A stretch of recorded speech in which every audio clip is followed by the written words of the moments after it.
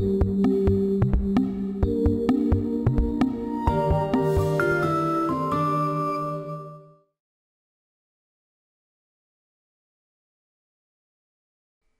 everyone. Today we're going to take a quick look at NestingWorks and how it it functions within uh, the SolidWorks CAM professional add-in.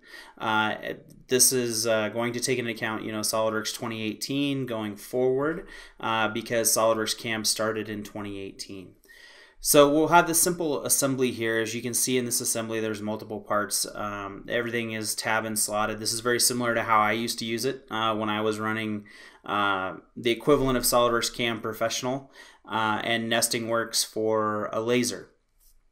So the first thing we'll take a look at is the NestingWorks add-in. Uh, we'll go ahead and open it up. And you have the ability to create a nesting job.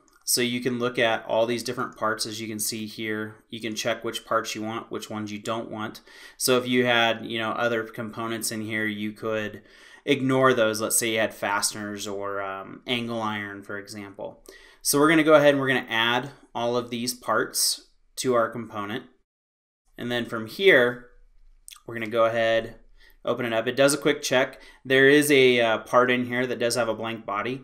Uh, this was added by design just to show you that it does look at the geometry inside the part. It does not need to be native sheet metal. Um, you could use this for woodworking as well because what we do is we actually are going to classify each individual component based upon material type and thickness. Once it goes through and calculates all the individual components, as I click on them here, you can see it highlights on the screen, shows a direction. I see a 2D profile preview. Uh, I have the ability to specify grain direction, customize any of the material properties if I want to, if I want to change them. It tells me the part size, the thickness, and then the angles that I want to rotate. Some of these components are longer, so may I, I may only want them to rotate 90 degree increments. You can define that per part. Uh, what's cool about this too is I have the ability as I go through here, I can change um, the grain direction I'm using. But if I go to the top, you can see that we're going to cut one of these assemblies. Let's say I needed four of them for one example. If I type in four at the assembly level, it automatically creates the correct number of components that are needed to make four assemblies. So for our example, we'll just go back to one.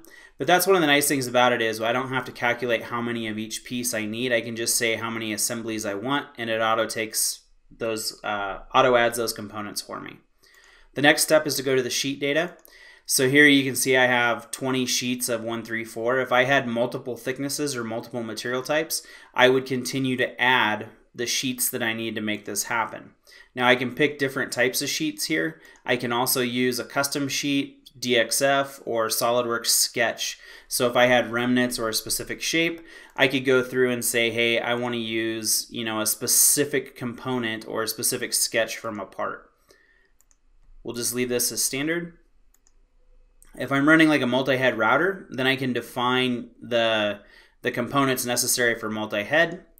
And the next part we go to is the actual options you have a part to part and a sheet to part distance. So if you if you have clamps, let's say, uh, and you're holding the sheet down, or you're using a laser, for example, where the table moves and the head is stationary, you could set a part to sheet distance. So that would be the edge of the sheet in where the parts would start. Um, these can be adjusted, and then you would have a between part distance.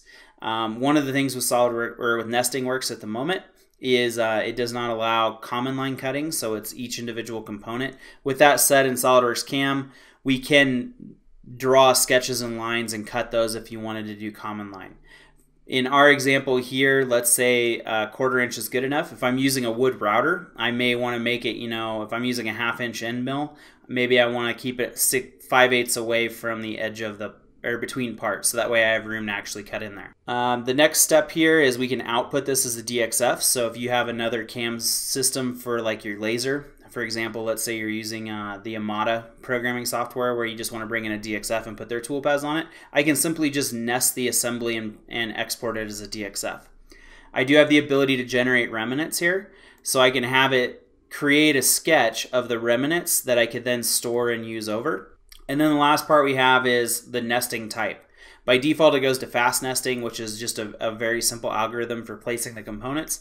If I wanted it to go through more iterations of the nesting process, I can turn on optimal and then give it a time limit where I want it to uh, end at. So we'll go ahead and we'll do preview nest. And as you can see here, I now have a preview of the nest. And as I click around on these parts, you can see that they highlight the 2D shape in bold, so I know which ones I'm looking at. It also tells me the quantity. And then if I had multiple sheets, I could go between the multiple sheets. Um, I can show a summary here as well, and the summary would then pop up and tell me all the components, the utilization of the sheet. So I have a an automatic printout of, of what it's going to look like, so I could come back in and, and make a change if necessary. Now in this example here, we'll go ahead and um, do generate nested assembly. Again, if I want to do a DXF, I could save these as a DXF. I can also set different line colors. Um, so there's like uh, SDS, for example. Um, it, it sees different line colors as things to cut, things to ignore. You can set all of those up and then it puts it on different layers. Um, for our example, we'll just do generate nested assembly.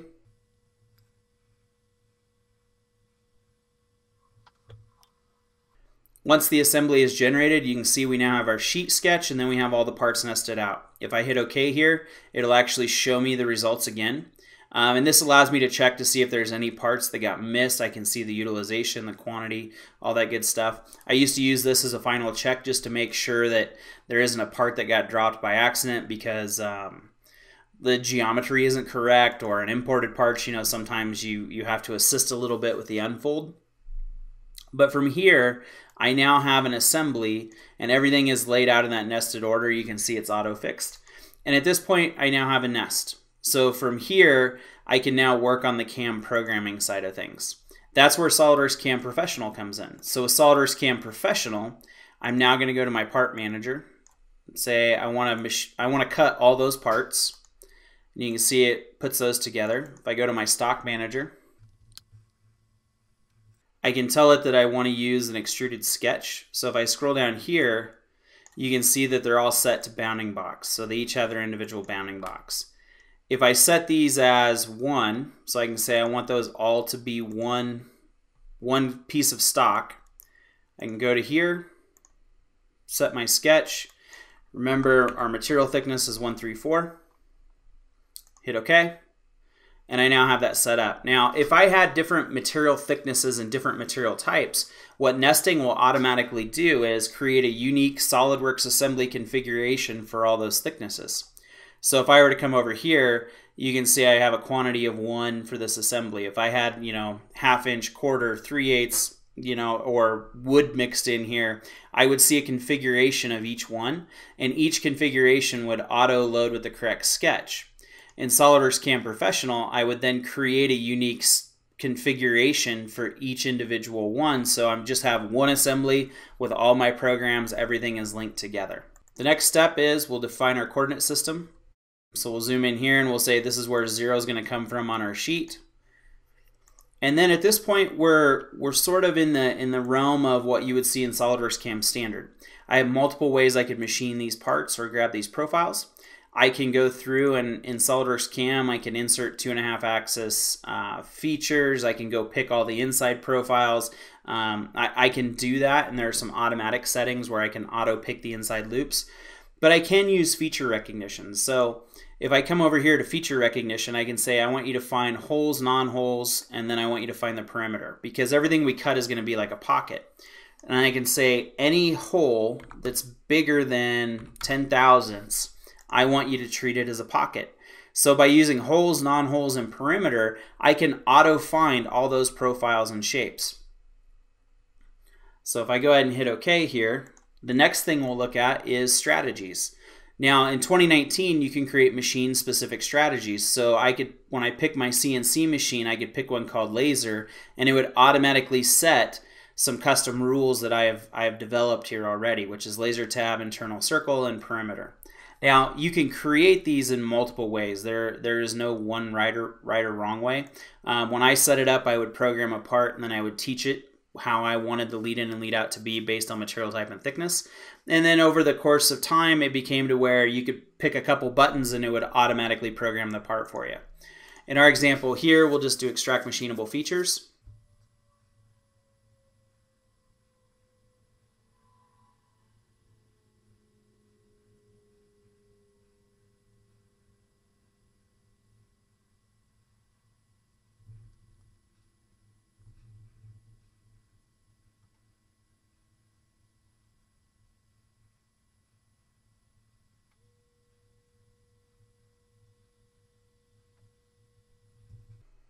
And once it's done finding the features, you'll go ahead and you can see that everything has been assigned. By using my default strategies, you see I have a bunch of laser tab ones. Um, there are a few in here that are rough finish. I could go through and I could change those parameters. So I could say instead of rough finish, I want to use laser slot. And then from there, it would use laser slot. So you can customize the strategies based on what you want to see. Um, you can also go through and, and redefine and make a change to that. So if rectangular slot, you could go to default strategies and I could say in rectangular slots or slots, I want you to find, change that to laser slot, hit apply, and it'll auto adjust all of those to my laser slot strategy. So now you can see I have laser slot. If I go to a regular slot, I could change that one as well, hit apply. So even if it finds those, you don't have to go back and redo any work. You can just say, this is what I want you to use for this setting. And now I have all the laser slots defined. From here, we're now going to generate operation plan, which should tell it to go grab the correct tool and the correct strategy. Now, if we're talking laser water jet plasma, it's going to be one pass around with a lead in and lead out. If we're doing woodworking, you may want to do more of the traditional milling. That's why you have the ability to make all of these adjustments and set everything the way that you want them to be.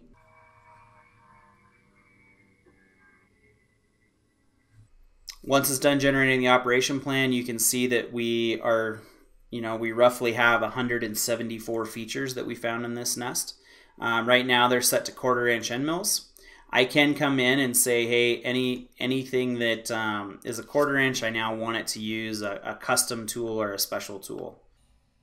I could set this by default as well too, to where if I'm doing laser, water jet, or plasma, I have a tech uh, tool crib that has just the diameter of the beam in it, and then I use that by default. Um, in my example here, I'm using a stock data database, so it went and grabbed a quarter inch end mill because that's my uh, smallest default that I have in there. But I'll show you here in just a second once it generates how easy it is to move these to another tool. So in our tool tree here, you can see that everything falls under a quarter inch. What I want to do is I'm going to add a tool from my library. And we'll go to flat end. Down here, I have different diameters of laser beams for different types of machines. So now I have this oh, 5 thou flat end we will take all of these and we'll drag them to our 5 thousandths flat end. And just like that, all of our tools are now using this 5 thousandths flat end. So as I look down the tree, you can see I now have 5 thousandths end mill. The last step in here is if we come and look at any of these profiles, we can see the tool paths. We can adjust our lead in and lead out depending upon what we want. If you wanted this part to be tabbed, for example, it's as simple as changing the setting. We'll do a negative lead in overlap. We'll make that 90 degree lead in and lead out. I hit OK.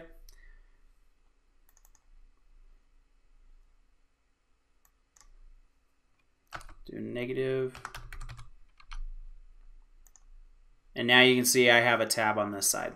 All the rules for SolidWorks CAM apply to this. I can do avoids, contains. I can have a library of special notches I can drag and drop into the part and then auto avoid those to create different lead in and lead out. I could change the start point from middle to the corner.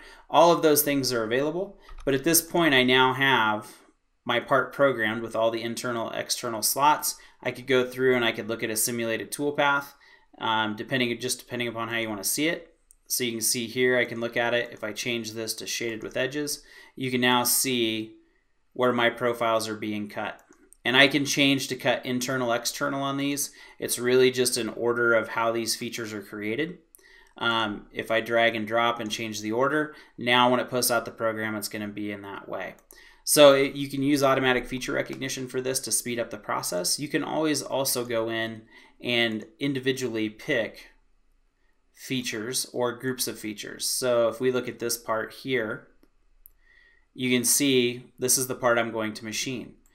If I wanted to do a traditional 2.5 axis feature, I can say I want a pocket and I want all the inner loops. And when I pick that face, it automatically grabbed those tabs for me. So if we're looking at a part with hundreds of internal loops, I can say, hey, just go find everything on the inside, treat it as a pocket. We'll do up to stock. Laser tab is our strategy. And just like that, we have those, those pockets selected.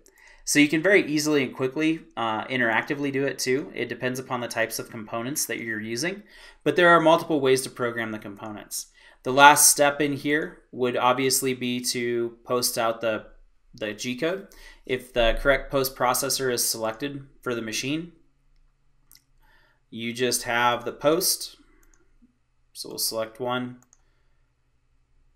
And then at this point, I can post it and everything becomes G code. So that's a real quick overview of how nesting works, how SOLIDWORKS CAM Professional works with the nesting component. Again, if this was wood or we're using a router, the, the tool paths would be a little bit different based on the what we need to machine. But the process from nesting through um, programming is actually pretty simple because it all stays inside of the SOLIDWORKS interface. Uh, if you're using individual parts, then that means any if any of the parts change or get updated, the uh, Nest will automatically update as well. So if I were to take this and open this up, it would be the original part that was drawn inside of SOLIDWORKS. So we're maintaining that associativity. So with that, uh, hopefully this gives you a little better understanding of how some of the SOLIDWORKS add-ins run with SOLIDWORKS and with SOLIDWORKS CAM Standard or Professional. Thank you.